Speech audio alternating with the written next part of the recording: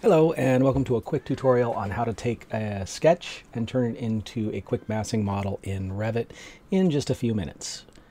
We are going to start by making a new model.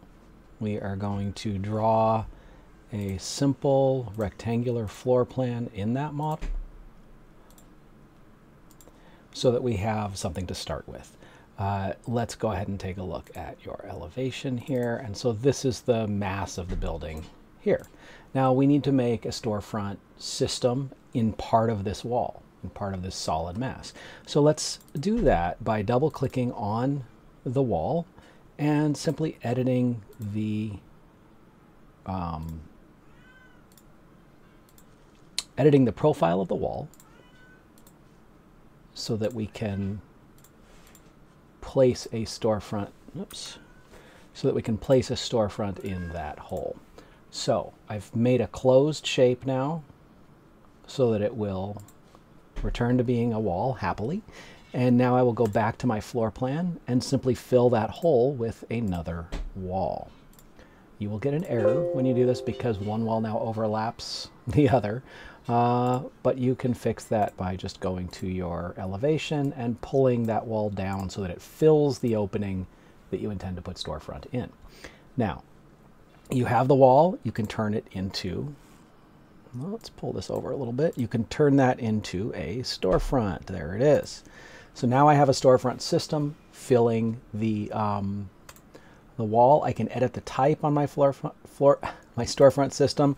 Let's take this down to seven feet, um, and maybe we'll do a three foot spacing on my um, on my verticals. So now I have a tighter grid of storefront system, one in which a door would fill a single panel of my storefront system. You can also fill a double panel with a double door, and I'll show you that in just a second.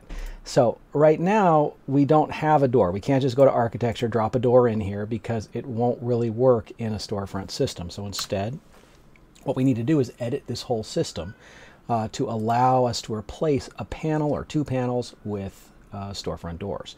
So I'm going to select the entire storefront by clicking on the perimeter. I'm going to right click on my storefront system and I'm going to say select panels on host. Now you can see that each panel has its own little pin and lock. You're going to unlock whichever panels you want to edit and replace with doors. Let's do the ones up the edges.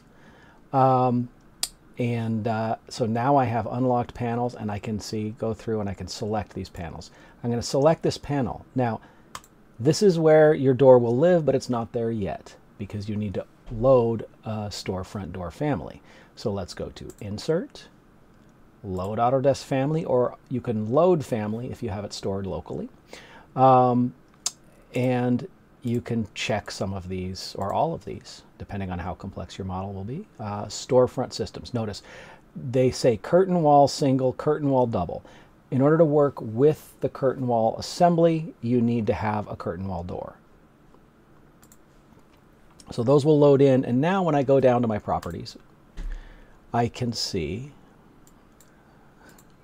there it is. I can see the, um, under the exterior glazing and storefront, now here are these, uh, here are these curtain wall systems that I loaded. So I can load a curtain wall door and you'll notice I have a door there now.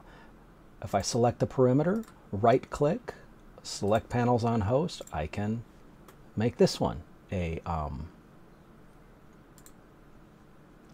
another curtain wall, uh, another door for the for the in the curtain wall system. Um, hit the space bar to flip the the swing on the door. Um, so now that is the uh, that's the whole workflow. You can go through and um, continue to build your model, uh, refine your massing, but it'll look like a building when you're done. Um, and so that's that's the simplest way to go about um, setting up a, a quick study uh, in Revit. So best of luck.